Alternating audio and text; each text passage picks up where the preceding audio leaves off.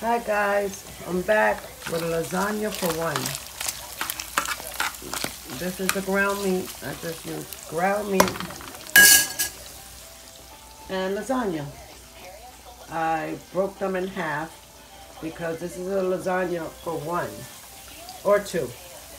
And the ingredients for the meat is um, garlic, adobo, and sazon and my favorite, sopitas, the chicken bouillon. And you just add that all together and you put it in a frying pan and you just fry it up. That's it. And then, in the lasagna, just put a little bit of oil, some salt, and that's it. And from there, wait till it's done and I'm going to show you how to put it together. Okay guys, this is what I did.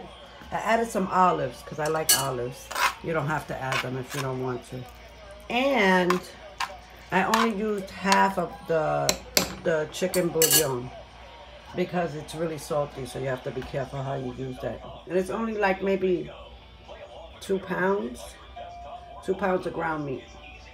And eight pieces of lasagna. You break it in half, okay? And then here's, oh, this is the half. I just broke it in half. And then what you do is, I got the mozzarella cheese, I got cheddar cheese, I got ricotta, and we're just gonna put it together. Okay, so I already put the lasagna in, so I'm gonna put some meat in it.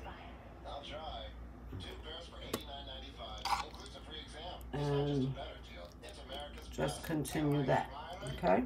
I'm gonna keep doing this.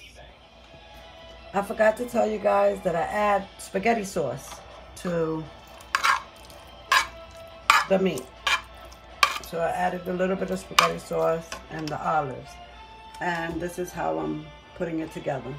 So that's just the lasagna on the bottom and then ricotta, and the two cheeses. And I'm just going to continue and I'll show you when I'm finished how it's done. Oh, and this is how you make it for one. Little tiny little aluminum pan. Perfect. I don't have to make a giant pan for everybody. It's just me. So, I'll be right back and I'll show you how it looks um, all together. Look how perfect that fits. Fits perfect just for one. So I'm just going to continue because I just wanted to show you guys that.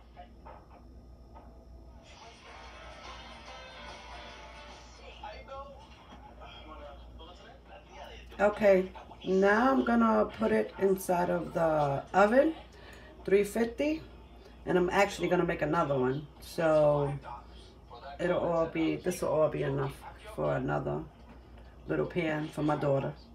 And um, I'll show you when they're done.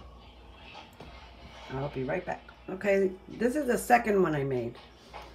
Uh, it's kind of overloaded because I didn't want to waste anything, but I still ended up wasting pasta, lasagna, um, because I didn't need all them pieces. All I needed was four, because they're actually only one, two, it's only like four layers.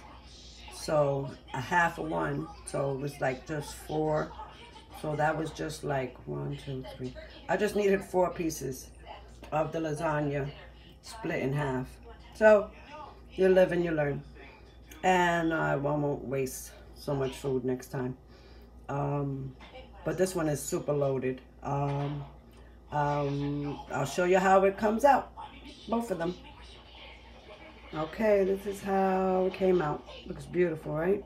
I'm gonna put it on a plate and have a taste. Hey, here's my son. He's about to take a bite of the delicious lasagna. We don't have the time because he has to go back to work. Nice and cheesy. Mm. What do you think?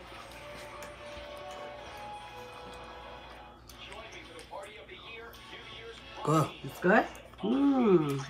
I'll save you half of that. when you come back home from work. Say bye. Bye. Okay, I've cut it in half with a spatula. And I'm gonna put it on the plate. Okay? Okay, like I was saying before, I didn't remember how much, but I'm tired of wasting lasagna. Um, all right, so it's just two and two. Because you break them in half and it's four. So you're actually only gonna use four pieces of lasagna. Just boil four pieces and you're good with the little aluminum pan. And delicious, look at it. This is the one my son took a piece of. It's good. And this is the one I'm gonna eat. All right, guys. Uh, don't forget to subscribe and share the video. Don't forget to hit the like button. Thank you so much. See you next time. Bye. Um, I forgot to tell y'all, I put it at 350 degrees uh, for like 25 minutes. This was the overloaded one. This was the super loaded. It came out beautiful.